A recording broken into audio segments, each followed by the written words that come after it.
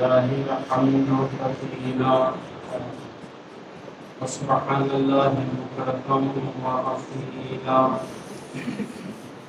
والحمد لله الذي هدانا لهذا. وما كنا لنهتدي لولا أن هدانا الله. لقد جاءت رسل ربنا بالحق. الصلاة والسلام على سيد المرسلين خاتم النبيين مولانا أبي القاسم محمد. وعلى آله الطيبين الطاهرين المعصومين. ورحمة الله على أعدائهم أجمعين من يومنا هذا إلى قيام يوم الدين أما بعد.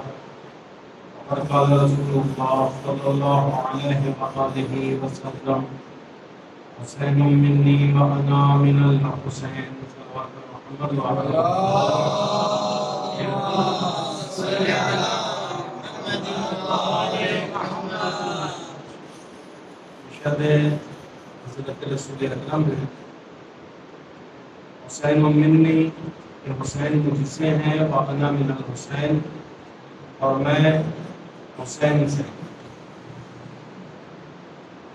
اس حدیث مبارکہ میں اگر انسان تدبر کرے، غور کرے، فکر کرے، اگرچہ کہ نہایت چھوٹی سی حدیث اور نہایت مختصر سی حدیث ہے،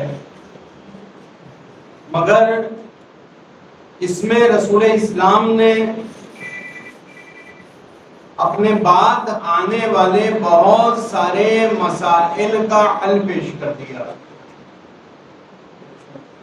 جہاں پر امت اگر سرگردان ہو، پریشان ہو، ہدایت کے راستے میں تو رسول اسلام نے اس حدیث مبارکہ میں امام حسین علی مقام کا وہ مرتبہ اور وہ منزلت اور وہ شان بیان کی کہ اگر امت اس شان کو اس مرتبے کو اس منزلت کو سمجھ لے، تو آج یہ جو سرگردانی ہے، یہ جو پریشانی ہے، وہ تمام سرگردانیاں خود بخود ختم ہو جائیں حدیث دو جملوں پر مشتمل ہے، جس میں پہلا جملہ حسین منی یعنی حسین مجھ سے ہے، یہ پہلا جملہ۔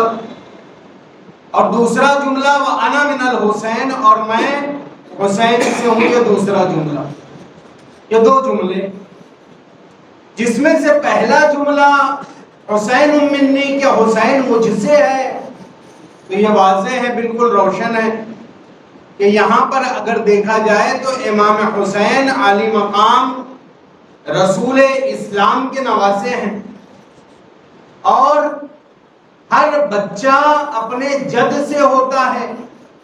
تو اگر عرب میں کہا جائے گا کسی بچے کے واسطے تو کوئی بھی جد اپنے بچے کے لیے کہہ سکتا کہ یہ بچہ منی، یہ بچہ مجھ سے ہے۔ تو یہاں پر اس جملے میں رسول اسلام کا یہ فرمانا کہ حسین مجھ سے ہے، یہ ایک عام سی بات ہے، یہ طبیعی سی بات ہے۔ لیکن اس حدیث کا دوسرا جملہ وہ من الحسین کہ میں حسین سے ہوں۔ حسین امنی یعنی وجود حسین۔ وجود امام حسین مجھ سے ہے۔ یہ واضح ہے، بالکل روشن ہے۔ لیکن وہ انا من الحسین، میں بھی حسین سے ہوں۔ یعنی وجود محمد مصطفیٰ صلی اللہ علیہ وآلہ وسلم۔ وجود رسول اکرم امام علی مقام امام حسین سے یہاں پر بحث کی گنجائش ہے۔ یہاں پر غور کرنا پڑے گا، یہاں پر فکر کرنا پڑے گا، یہاں پر تدبر کرنا پڑے گا کہ رسول کون رسول؟ کہے وہ رسول کہ جناب آدم سے لے کر قیامت تک جتنے با فضیلت افراد اس کائنات میں متولد ہوئے ان تمام افراد میں سب سے افضل رسول اسلام کی ذات ہے نہ ان سے بزرگ نہ ان سے بالا نہ ان سے برتر کوئی ہوا نہ ہوگا۔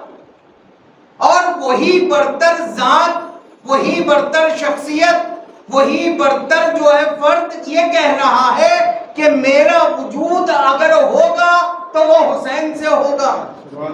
وَأَنَا مِنَ الْحُسَيْنِ یعنی میں حسین سے ہوں گا۔ اب آپ کو یہ دیکھنا پڑے گا کہ رسول اسلام نے جو لفظ منی کہا، یہ کہاں کہاں پر استعمال ہوا؟ لفظ منی ایک جگہ اور استعمال ہوا۔ کہاں پر؟ دیکھیں جنگ خندق میں۔ جنگ خندق میں کیا ہوا؟ جناب سلمان فارسی نے کہا، کیونکہ مسلمانوں کی تعداد کم ہے، کفار زیادہ ہیں مشرقین زیادہ ہیں۔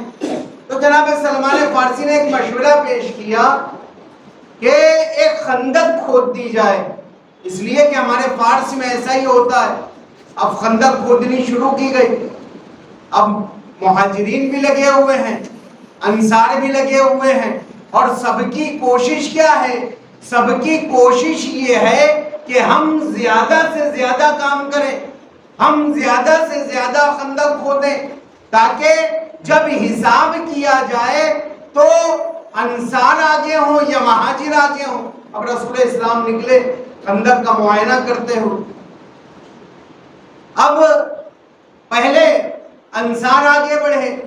انہوں نے کہا، یا رسول اللہ، یہ جو حصہ ہے، یہ ہم نے کھودا ہے۔ یہ ہم انصار نے مل کر کھودا ہے۔ دیکھیں، یہ دو حصوں میں یعنی مہاجرین اصحاب دو حصوں میں بٹ گئے۔ کچھ مہاجرین ہیں اور کچھ انصار ہیں۔ مہاجرین کون ہیں؟ وہ جو مکے سے ہجرت کر کے آئے رسول کے ساتھ۔ اور انصار کون ہے؟ وہ جو مدینے والے ہیں، یہ انصار ہیں۔ اب دونوں کا ایک فیصلہ ہے۔ دونوں نے بتایا، یہ ہم نے کیا، یہ ہم نے کیا۔ لیکن دونوں نے ایک بات کہی، کیا کہی؟ کہ یا رسول اللہ، ایک اکیلا فرد۔ کون؟ جناب سلمان فارسی۔ جناب سلمان فارسی اکیلے کھود رہے ہیں۔ وہ نہ مہاجرین کے ساتھ ہیں۔ وہ نہ انصار کے ساتھ ہیں اب مہاجرین نے کیا کیا؟ یا رسول اللہ یہ ہم نے کھودا مگر سلمان کا حساب بھی ہمارے ساتھ کر لو۔ اس لیے کہ سلمان ہم مہاجرین میں سے ہیں۔ اب انصار کے پاس آئے رسول اسلام۔ انصار کہتے ہیں یا رسول اللہ یہ ہم نے کھودا لیکن سلمان کا حساب ہم انصار کے ساتھ کر لو۔ اس لیے کہ سلمان ہم انصار کے ساتھ ہے تو رسول اسلام کیا کہتے ہیں؟ کہ سلمان نے اتنا اتنی زیادہ خندق کھودی تھی کہ جس طرف بھی سلمان ہو جاتے اس طرف کا پڑھا بھاری ہو جاتا۔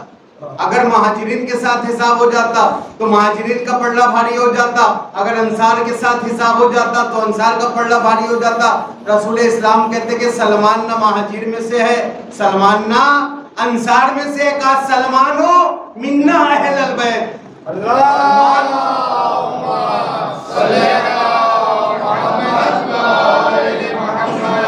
یہاں پر رسول اسلام نے لفظ منہ کو استعمال کیا تو پتا یہ چلا کہ لفظ منہ وہاں استعمال ہوتا ہے کہ جس کی برابری جب نہ مہاجر کر سکے، نہ انصار کر سکے۔ جب مقام اتنا بلند ہوتا ہے تو پھر کہا جاتا ہے منہ تو یہاں پر رسول اسلام نے کہا، حسین منی، حسین مجھ سے ہیں۔ تو یہ بات واضح ہے کہ حسین واقع رسول سے، اس لیے کہ رسول کے نواز سے۔ لیکن وہ انا من الحسین، میں حسین سے ہوں۔ تو رسول کس طریقے سے حسین؟ سے رسول کا وجود کس طریقے سے حسین کے ساتھ ہے؟ تو کہے رسول کو اگر دیکھنا ہو تو قرآن میں پڑھیں۔ قرآن میں رسول کے لیے کیا کہا وما محمد اللہ رسول۔ کہ محمد کچھ نہیں ہے، مگر صرف رسول ہے۔ اب اگر محمد مصطفیٰ کی ذات کو دیکھنا ہو تو رسالت کے پیرائے میں دیکھنا پڑے گا۔ یعنی رسول اسلام اگر گھر میں ہیں تو رسول ہیں، اگر باہر ہیں تو رسول ہیں، اگر جنگ میں ہیں تو رسول ہیں، اگر صلح کی منزل میں ہیں تو رسول ہیں۔ اب اگر کوئی تصدیق کر رہا ہے محمد کی، تو وہ رسول کی تصدیق کر رہا ہے۔ اگر کوئی انکار کر رہا ہے، تو وہ رسول کا انکار کر رہا ہے۔ تو محمد کچھ نہیں ہے سوائے رسول کے۔ اور رسول کسے کہتے ہیں؟ جو رسالت لے کر آئے۔ رسالت میں کیا ہے؟ نماز، رسالت، روزہ، رسالت، حج، رسالت، زکات، رسالت جو امر بالمعروف، رسالت یعنی پورا دین۔ رسالت ہے۔ اب اگر رسول کہیں یہ کہتے ہوئے دکھائی دے وہ انا من الحسین تو اس کا مطلب یہ ہوگا کہ نماز حسین سے روزہ حسین سے حج حسین سے زکات حسین سے۔ پورا دین حسین سے۔ اور یہ بات کب سمجھ میں آئی؟ یہ بات سن اکسٹھ ہجری میں سمجھ میں آئی۔ جب امام حسین نے یزید کے خلاف قیام کیا اور پورے دین اسلام کو بچا لیا کہ اگر ذات حسین نہ ہوتی تو پورا اسلام نہ ہوتا اور اگر اسلام نہ ہوتا تو پھر رسول نہ ہوتے۔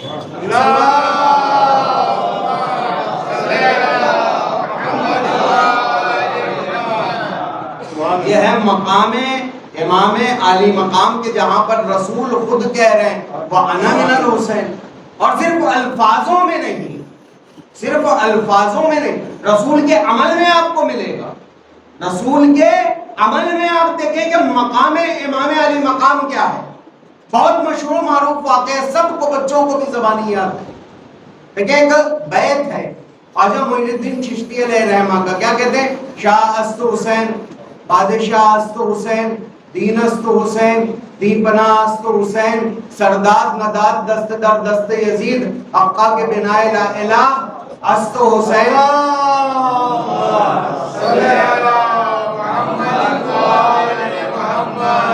یہاں پر آپ یہ دیکھیں، اس پورے بیت میں ایک جملہ ہے۔ وہ جملہ کیا ہے؟ دین است حسین۔ شاہ است حسین، یہ تو واضح ہے کہ شاہ ہیں حسین۔ حسین شاہ ہیں یعنی بادشاہ ہیں۔ واقعی بادشاہ ہیں۔ شاہ است حسین، بادشاہ است حسین۔ شاہ اور بادشاہ دونوں ایک ہی معنی میں تھوڑے سے فرق کے ساتھ۔ اس کے بعد دوسرا جملہ، دوسرا مصرا دین است حسین حسین دین۔ یہاں پر غور کرنے والی بات ہے کہ یہاں پر اگر یہ کہا جا رہا ہے کہ حسین دین ہے، تو دین کیا ہے؟ وہ جو رسول اسلام لے کر آئے دین کیا ہے جس پر عمل کر کے انسان متقی بنتا ہے؟ دین کیا ہے جس کو مان کر انسان مومن بنتا ہے؟ دین کیا ہے جس کو مان کے انسان جنت میں جائے گا؟ یہ دین ہے۔ اور وہ دین کیا ہے؟ وہ دین حسین ہے۔ وہ دین حسین ہے۔ کبھی غور کیا آپ نے اس مصرے پہ کہ دین حسین ہے؟ اس کا ثبوت کیا ہے؟ اس کا اس کی دلیل کیا ہے کہ حسین دین ہے؟ بھائی نماز دین ہے، یہ سمجھ میں آتا ہے۔ لیکن نماز بھی دین کا حصہ ہے۔ نماز کل دین نہیں ہے۔ قرآن کل دین نہیں ہے۔ روزہ کل دین نہیں ہے۔ پورے دین پورا دین ایک مجموعہ ہے۔ اس مجموعے کا ایک حصہ نماز ہے۔ لیکن یہاں پہ کیا کہا گیا؟ دین حسین۔ پورا کا پورا دین حسین، دین است حسین۔ حسین دین ہے۔ تو اس کی دلیل؟ کہتے ہیں آپ نے وہ واقعہ سنا ہے کہ رسول اسلام نماز میں، حالت نماز میں، جماعت سے نماز ہو رہی ہے مسجد میں۔ رسول اسلام کی مسجد ہے۔ رسول سجدے میں گئے۔ ایک مرتبہ تاریخ نے کیا لکھا ایک چھوٹا سا بچہ دوڑتا ہوا آتا ہے۔ رسول سجدے میں ہے۔ رسول کی پشت پر سوار ہو جاتا یہ کون ہے؟ یہ امام حسین ہے جو رسول کی پشت پر سوار ہو گئے۔ اب تاریخ نے یہاں پر لکھا کہ رسول اسلام نے ذکر سجدہ کو طویل کیا۔ بھائی، ذکر سجدہ کتنی مرتبہ پڑھا جاتا ہے؟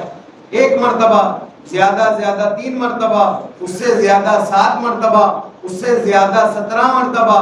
رسول اسلام نے ذکر سجدے کو ستر مرتبہ دہرایا رسول نے ستر مرتبہ سبحان ربی العلا و بحمدہی سبحان ربی العلا و بحمدہی ستر مرتبہ جب تکرار ہو گئی، اب صحابہ جو پیچھے نماز پڑھ رہے ہیں، اب تھوڑی سی کھلبلی ہوئی کہ آخر ماجرہ کیا ہے؟ رسول سجدے سے سر کیوں نہیں اٹھاتے؟ ذکر کی اتنی تکرار کیوں ہو رہی ہے؟ تو ایک مرتبہ صحابہ نے اپنے اپنے سجدوں سے سر اٹھا کے دیکھنا شروع کیا۔ ایک نے دوسرے سے کہا کہ بھائی دیکھو تم اٹھ کے۔ تو دوسرے نے سر اٹھایا، دیکھا، تو کیا دیکھا؟ منظر منظر یہ دیکھا کہ رسول سجدے میں ہے اور رسول کی پشت پر امام حسین علی مقام ہے اب رسول کے بارے میں یہ ہے کہ رسول جس طریقے سے آگے دیکھتے تھے، اسی طریقے سے پیچھے بھی دیکھتے تھے۔ رسول کو جس طریقے سے آگے کا دکھائی دیتا تھا، اس طریقے سے پیچھے کا بھی دکھائی دیتا تھا۔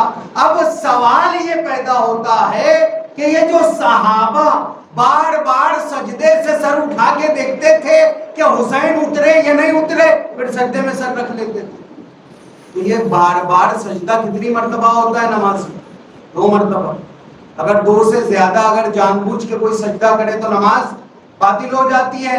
یہاں پہ نماز ختم ہونے کے بعد، اور ظریف سے ایک نقطہ باریک سے نقطہ توجہ کریے گا، نماز کے ختم ہونے کے بعد رسول نے کہا کہ صحابہ تم نے بار بار سجدے سے سر اٹھا کے دیکھا تھا تمہاری نماز باطل ہو گئی۔ تمہاری نماز باطل ہو گئی۔ کسی تاریخ میں کہیں پر کوئی روایت کہ جہاں پہ رسول اسلام نے کہا ہو کہ صحابہ چونکہ تم نے نماز میں اپنے سر کو سجدے سے کئی مرتبہ اٹھایا، تمہاری نماز باطل ہو گئی۔ کہ کہیں پر نہیں ملتا کہ رسول اسلام نے صحابہ سے کہا ہو کہ تمہاری نماز باطل ہے۔ یہ ایک نقطہ اور دوسری طرف چلی۔ دوسری طرف کیا مسئلہ ہے؟ کہ جب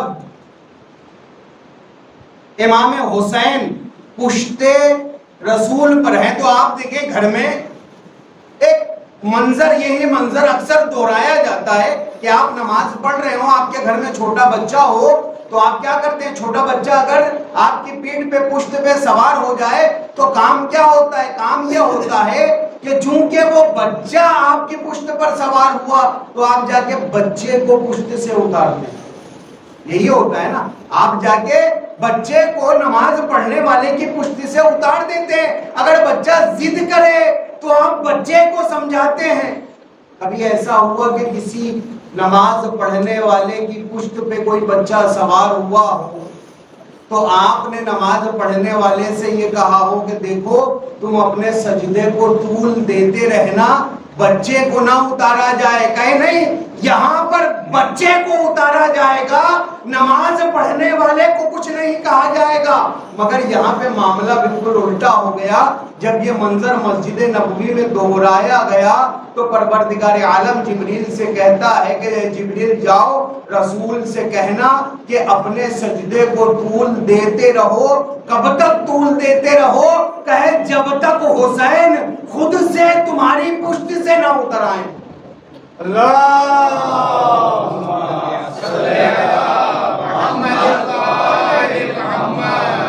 معاملہ تو یہ ہونا چاہیے تھا کہ پروردگار عالم کہتا کہ جاؤ، حسین کو رسول کی پشت سے اتار دو۔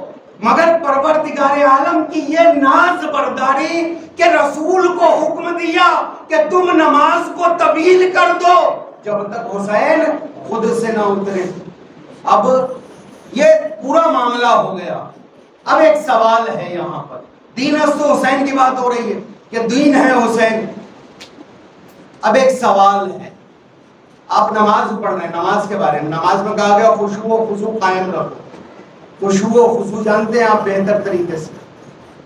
اگر نماز میں آپ نماز پڑھ رہے ہیں نماز دن کا رکن ہے۔ اگر نماز میں آپ کو کاروبار کا خیال آ جائے۔ کہ کاروبار دنیا ہے۔ اگر نماز میں خیال آ گیا تو آپ کی نماز میں نقص پیدا ہو جائے گا خوشو ختم ہو جائے گا خوشو ختم ہو جائے گا۔ اگر آپ نے نماز میں بلا وجہ اگر اپنے ہاتھوں کو حرکت دی تو یہ بھی جو ہے نماز کے خوشو و خوشو کے منافی ہے تو پتہ یہ چلا کہ نماز دین کا ایک رکن ہے اور ایسا رکن ہے کہ اس میں صرف دین چلتا ہے۔ دنیا نہیں چلتی۔ مثلا اگر کوئی بچہ سامنے سے جا رہا ہو یا کوئی شرارت کر رہا ہو اور اگر آپ کو اس بچے کو روکنا ہو تو آپ یہ نہیں کہتے، اے بچے، رک جا۔ اے، اگر آپ نے نماز میں یہ کہہ دیا، رک جا۔ یہ کام مت کر، فلاں کام مت کر تو آپ کی نماز کیا ہو جائے گی؟ آپ کی نماز باطل ہو جائے گی، آپ کی نماز خراب ہو جائے گی تو پتا چلا کہ نماز دین ہے اور اس میں دنیا نہیں آ سکتی۔ توجہ ہے نہیں ہے؟ نماز دین ہے، اس میں دنیا نہیں آ سکتی۔ اب اگر آپ کو بچے کو روکنا ہو تو کیا کہیں گے آپ بچے کو؟ آپ بچے کو کیا کہیں گے؟ کہے آپ جو کرات کر رہے ہیں، اسے ذرا زور سے کہہ دیں یا بسم اللہ زور سے پڑھ دیں۔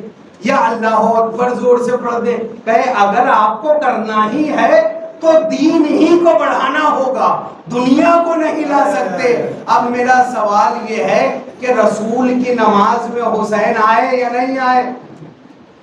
رسول کی نماز میں حسین آئے یا نہیں آئے؟ سب سے اچھی نماز کون پڑھتا ہے؟ سوال سب سے اچھی نماز کس کی؟ رسول کی۔ رسول کی نماز میں دنیا آ سکتی ہے کہہ نہیں آ سکتی۔ اب میرا سوال یہ ہے، اگر رسول کی نماز میں دنیا نہیں آ سکتی تو حسین آئے۔ اب سوال یہ ہے، حسین دین یا دنیا؟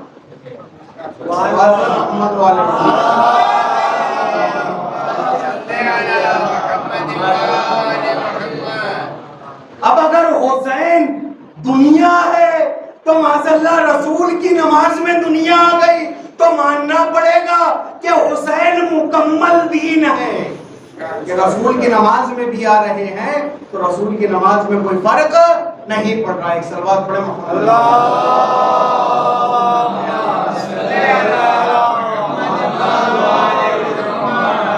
یہ معاملہ حسین کا دین ہونا حسین کا دین ہونا، حسین کا معیار ہونا ایک واقعہ، چھوٹا سا واقعہ ہے، لیکن اس سے مقام امام علی مقام سمجھیے گا۔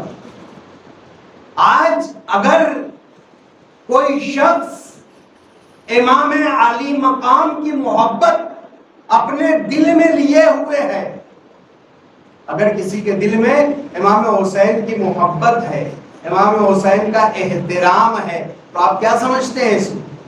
یہ کیا چیز ہے آپ کے پاس؟ یہ کیا نعمت ہے آپ کے پاس؟ یہ کون سی چیز آپ کے پاس میں ہے؟ یاد رکھیں یہ محبت حسین ہماری نسلوں کے پاک ہونے کا ثبوت ہے۔ کہ جب تک نسل پاک نہیں ہوتی حسین کی محبت دل میں آ نہیں سکتی۔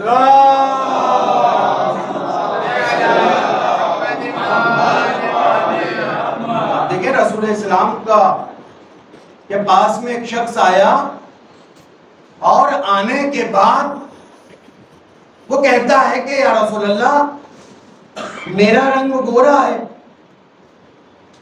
میری بیوی کا رنگ گورا ہے، میرے دو بچے ہیں، اور دو بچوں میں سے ایک بچے کا رنگ گورا ہے، اور ایک بالکل سیاہ ہے، کالا ہے۔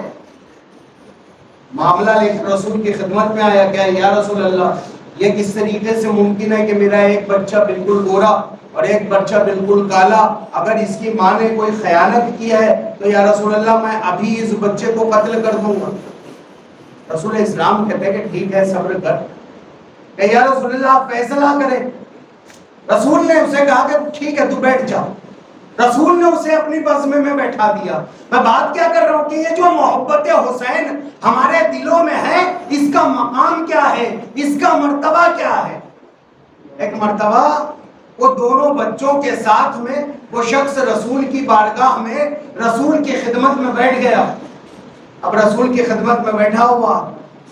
بیٹھے بیٹھے ایک مرتبہ امام حسین علی مقام تشریف لاتے ہیں۔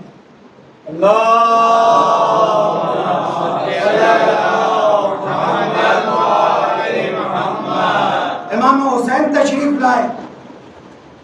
جب امام حسین آئے، تو اس شخص کے دونوں بچے امام حسین کے احترام میں کھڑے ہو گئے۔ وہ کالا بچہ بھی کھڑا ہو گیا امام کے احترام میں۔ اور یہ گورا بچہ بھی کھڑا ہو گیا کس کے احترام میں؟ امام حسین کے احترام میں۔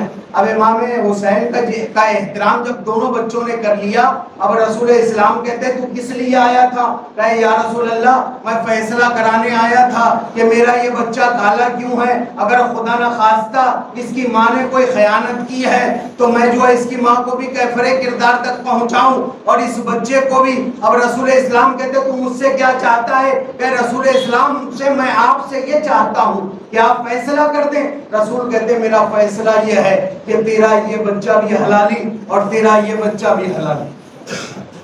تیرے دونوں بچے حلالی۔ اب وہ جو ہے حیرت زدہ ہوتا ہے کہ یا رسول اللہ، یہ دونوں بچے کیسے حلالی؟ ایک گورا ایک کالا، میں بھی گورا، میری بیوی بھی گوری، یہ بچہ کالا کیسے؟ کہے یاد رکھ، یہ تیرے دونوں جب میرا نواسا مسجد میں وارد ہوا تو تیرے دونوں بچے میرے نواسے کے احترام میں کھڑے ہو گئے۔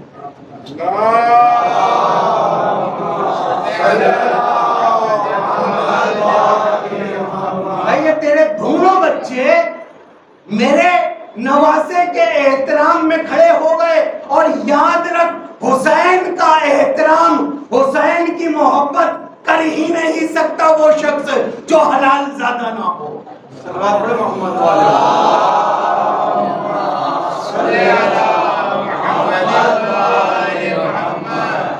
جب تک انسان کا خون پاک نہ ہو، جب تک انسان کی نسل پاک نہ ہو، وہ امام حسین کا احترام نہیں کر سکتے اور یہ دونوں بچوں کا احترام کرنا یہ بتا رہا ہے کہ یہ دونوں بچے پاک ہیں۔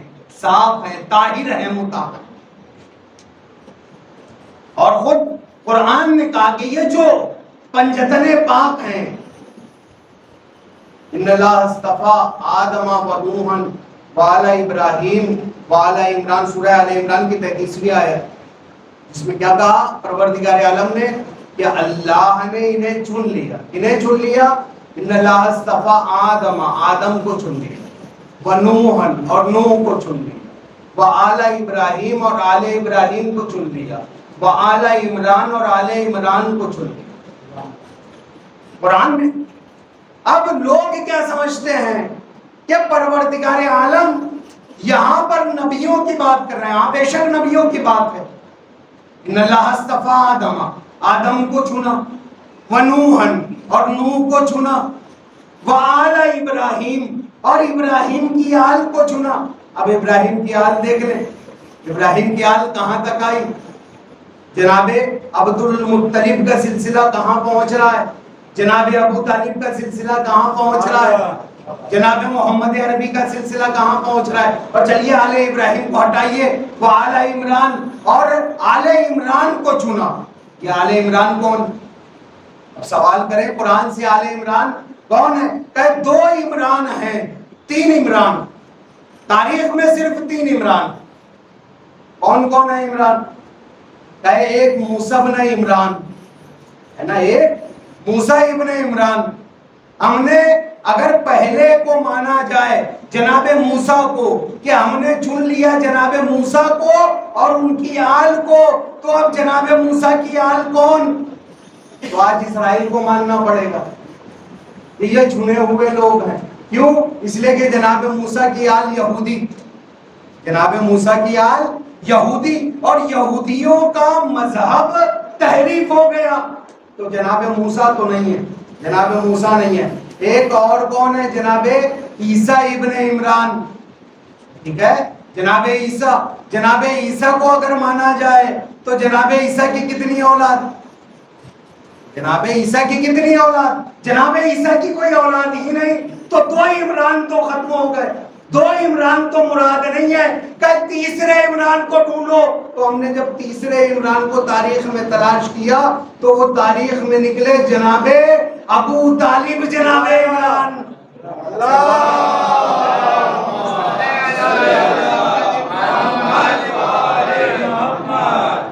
ہم نے چنا ابو طالب اور ان کی اولادوں کو۔ چنا ابو طالب اور ان کی اولادوں کو چنا اور واقعی نا آپ دیکھیں کہ کتنا فرق ہے۔ کتنا فرق ہے۔ جناب موسیٰ ہے۔ ایک واقعہ ہے کہ جناب موسیٰ جب دربار فرعون میں جاتے ہیں اور فرعون اپنے جادوگروں کو جمع کرتا ہے، تو جناب موسیٰ کے سامنے جب جادوگروں نے اپنی رسیاں پھینکی تو وہ رسیاں سب سانپ میں بن گئی۔ پروردگار کا حکم ہوا کہ موسیٰ تم اپنے عصا کو ڈال دو۔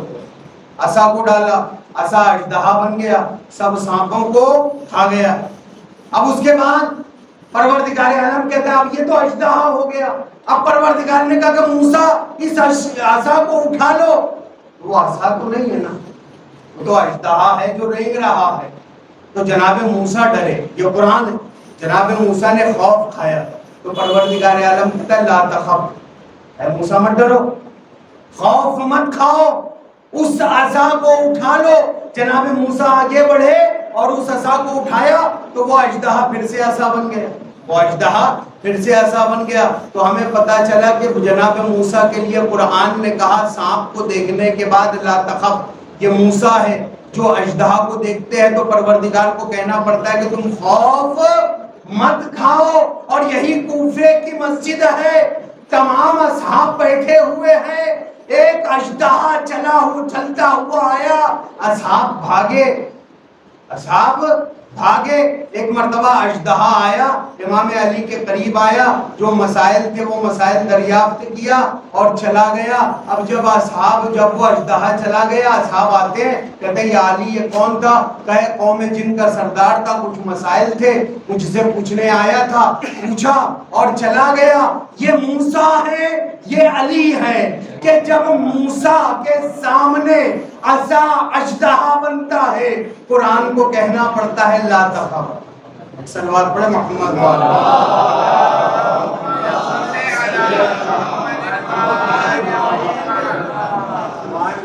ان اللہ صفا آدم و نوحن بالا ابراہیم بالا عمران۔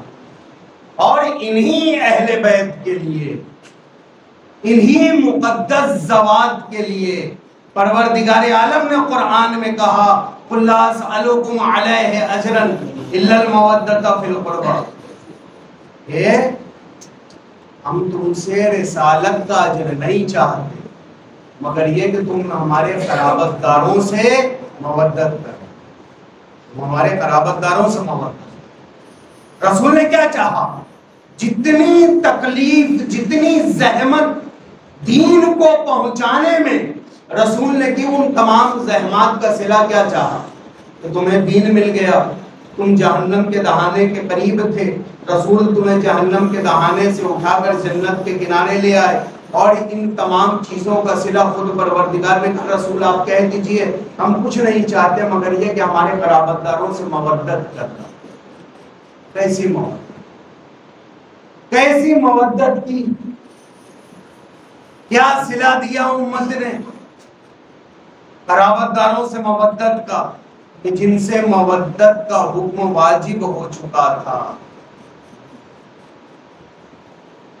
اسی قرابت داروں کے بیت پر، جس بیت پر آنے کے بعد ملک بغیر اجازت وارد نہیں ہوتے، اس بیت میں آنے کے بعد جہاں پر ملک اپنے سروں کو جھکا لیا کرتے ہیں، اس دروازے میں آگ لگا دی۔ دروازے اور دیوار کے بیچ میں شہزادی کونین پس گئی شہزادی کو کہنا پڑ گیا، صحبت علیہ مسائب اللہ صحبت علل ایام سدن لیالیا۔ اے بابا، آپ کے بعد زہرہ پر وہ مصیبت پڑی۔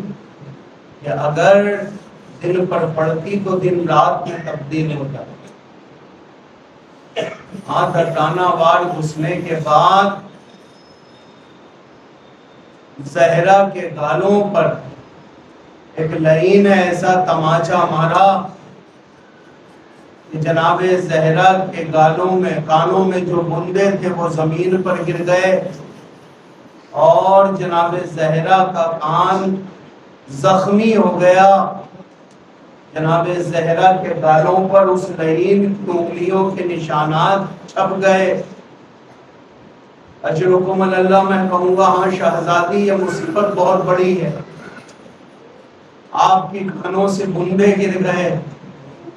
آپ کے گالوں پر تمانچے لگے، میں کہوں گا ہاں شہزادی ذرا کربلا میں آ کر دیکھیے، آپ کی پوتی ہے۔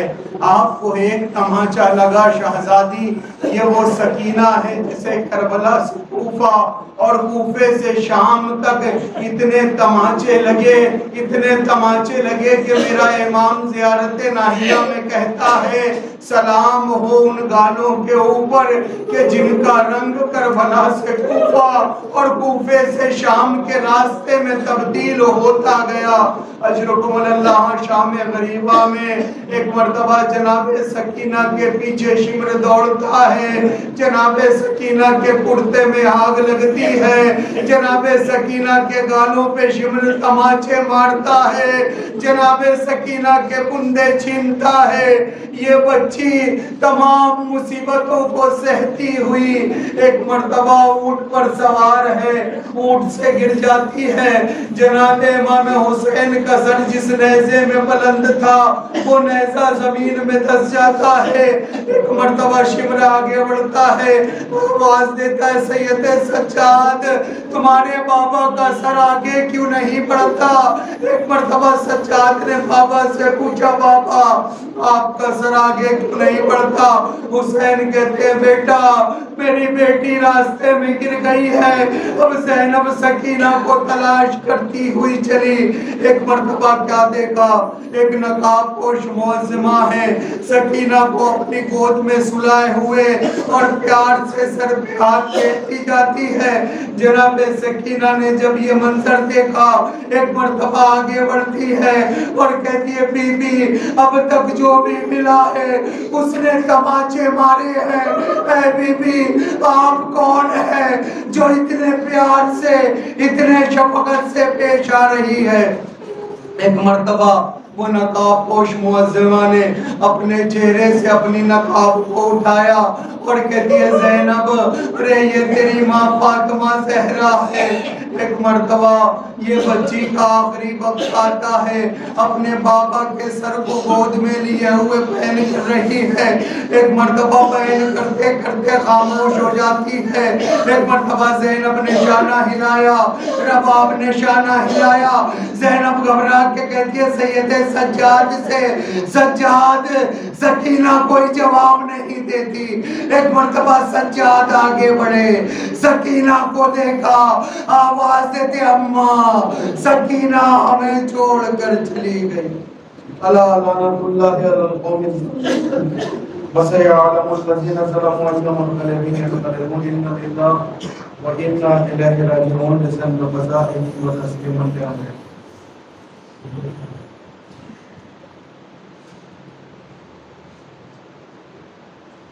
ربنا تقبل منا انك انت السميع العليم. سبحان ربك رب العزه عما يصفون. سلام على المرسلين. والحمد لله رب العالمين. قدر محترم سلیم بھائی، کے بچے کے لیے تمام حضرات سے گزارش ہے کہ دعائے، شفا و صحت کے لیے دعا کرے کہ پروردگار عالم تمام سجاد کے صدقے میں اس بچے کو شفا کامل و عاجل عنایت فرمائے سورہ فاتحہ محمد عارف اللہ اکبر علی آجانی کے روح پر سلام